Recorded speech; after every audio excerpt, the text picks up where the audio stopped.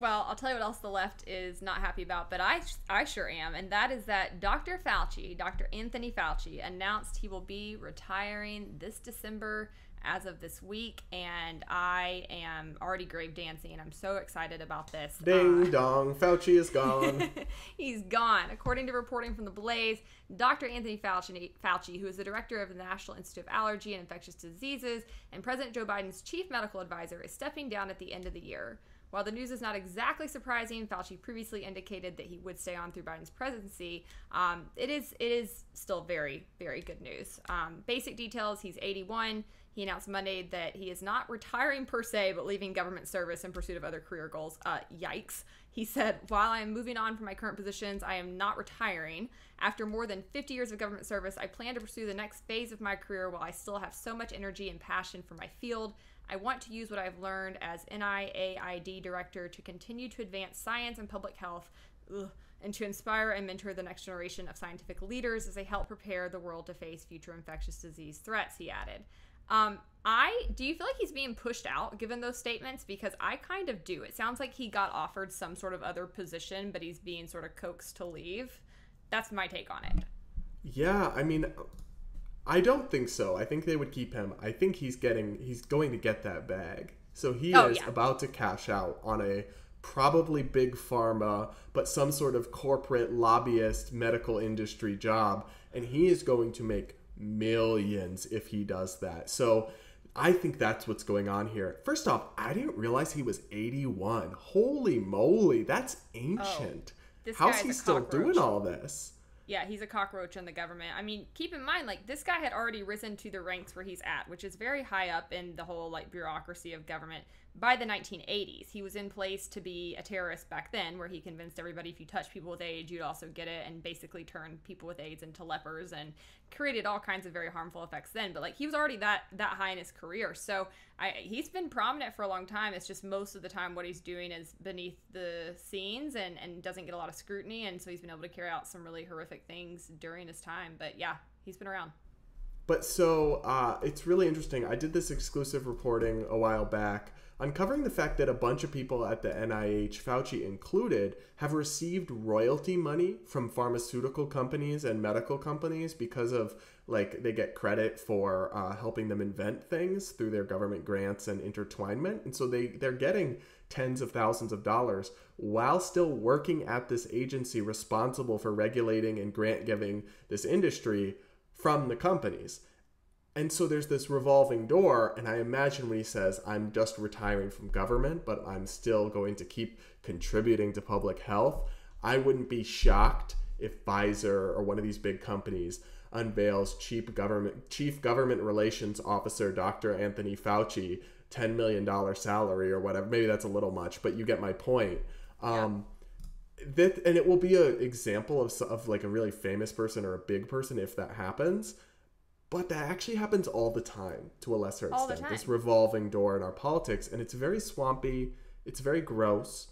Uh, and of course, he's still going to get that taxpayer funded government pension of $350,000 in annual payouts. Yeah, I actually covered something similar in, in South Carolina recently where the certificate of need bill pa- uh, failed to pass. It was right on the edge of passing. and it died a mysterious procedural death right before the session ended. And then turns out the Speaker of the House resigned and was promptly hired as the top lobbyist for the large hospital association that was working to defeat certificate of need. It's like, all right, like, I guess we know what happened now. Yeah, that kind of stuff does happen all the time. So I think you're probably right that that's his trajectory. Listen, this man loves to get the bag. He's been pretty profitable as a government um, actor, but I think you can make a lot more outside of government. He's going to follow that money train. I also think he is somebody who is getting increasing scrutiny on his operations, right? Like thanks to the work of White Coat Waste, which I work, you know, we found out about all of the extreme torturous experiments they've been carrying out on animals, specifically puppies, but lots of other animals too, under his direction. Lots of taxpayer funded um, projects in that vein, and that's getting a lot of scrutiny, a lot of pushback recently. Rand Paul has been hot on his tail. It looks like they were performing gain of function research even when there was a moratorium in place, which is a very risky kind of research. Increasingly, it, it, it, it seems very apparent that's what was happening in the Wuhan lab, where we believe that the coronavirus likely leaked from. So he's basically lied to the American people on repeat. He said that we did not fund gain of function research. He said that that wasn't happening in the Wuhan lab. And then, as that uh, was actually proven to be true by Dr. Rand Paul, he then tried to change the definition of gain of function research, right? I know it goes on and on, but I think he's increasingly facing real scrutiny. Um, the story you did about the kickbacks that they're getting, I think as a whole, he's he sees that it's time to move on because uh, Rand Paul's hot on his tails, and I would really like to see uh, actual charges against him. I know that's not super realistic, but I, I, would really like to see people in our in the Republican Party come together and actually hold his feet to the fire because I think this man has carried out crimes, and I think that he like what though specifically. Well, just the fact that they were carrying out gain of function research when there was a moratorium and they were forbidden from doing so. Somebody would that be, be a criminal offense? I know. So the one thing they could get him on potentially is lying to Congress, which under yeah, oath, which is a crime. Um, mm-hmm. But uh, so and and Rand says uh, that he's going to keep investigating him regardless of whether he retires or not. He tweeted out, Rand Paul tweeted out, Fauci's resignation will not prevent a full-throated investigation into the origins of the pandemic. He will be asked to testify under oath regarding any discussions he participated in concerning the lab leak. So if Republicans take the Senate, which they've got a good chance of doing, um, you can expect Fauci to be hauled in, to be subpoenaed, to have to testify. He's not going to get away from the scrutiny, I don't think. Um, I will say, you know, let's let's discuss this a little bit. I am a little bit uncomfortable with some of the rhetoric, and sometimes it's meant tongue in cheek, but sometimes it's not. In terms of things like Fauci for Gitmo, um, right? Where people, libertarians are, are very quick to say, like, lock him up. And I think he's done a very poor job. I think he's been deeply dishonest. But the idea that he has committed, first off, I don't think we believe in Gitmo for anybody, right? No. Not even suspected terrorists. So I don't really like when libertarians say that. Um, and then the other thing is like, has he really committed crimes? Like, I, I I'm the only one, I guess, that that I think is a crime crime that I've really heard would be lying to Congress.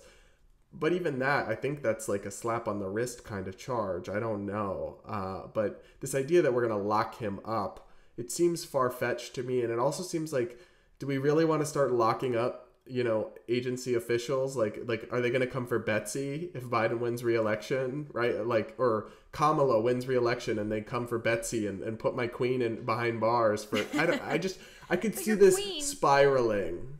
I see what you mean like no we do not want to incentivize political witch hunts where we're just going after people in the opposite party and we're looking to put them in prison. And I also don't think that we should have an overtly carceral approach to things. But I do think that when you look at government actors who on the scale that he has have committed fraud, have carried out injustices against American people, have lied to the American people, have misused our resources, and have likely led to a disease that got millions of people killed. Yeah, there has to be some accountability for that. Now, is it negligence? Is it intentional? I don't know. That's why there needs to be investigations. But I think it's ridiculous that we spend the resources we have investigating the January 6th protest and we haven't done that same thing or put that same scrutiny on the origins of COVID, right? It's mostly just been Rand Paul who has been continually uh, elevating this and looking into it. And every time he's done so, we find out more and more. So when it gets to what crimes has Fauci actually committed, we don't know yet because it hasn't gotten the scrutiny that it actually deserves. But we know with just a little bit of digging by a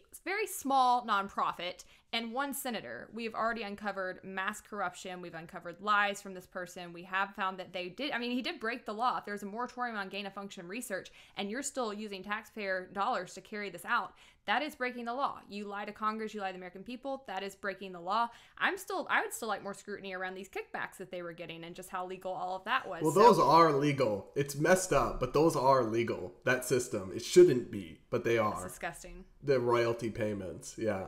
But um, I see what um, you're saying, and I, I do think Fauci go- should be in prison. I really do, just given everything we found so far. But again, I'm not, I want an investigation. I believe in due process. I want to find out more about the origins of this disease, what they knew when they knew it, how much cover up there was going on behind the scenes. All of that I think needs to be laid bare. So I'm glad Rand's going to keep investigating. But no, Gitmo's never okay. We don't believe in torture. We do believe that politicians and people in government are not above the law, though. And I mean, often they are, right? They often don't get the actual accountability or held accountable for their actions. So I think that we would want to see more of that, and hopefully that would clamp down on corruption within government, just like I was talking about in Tennessee. Um, but I, I don't want to be flippant about it either. I think you're right on that.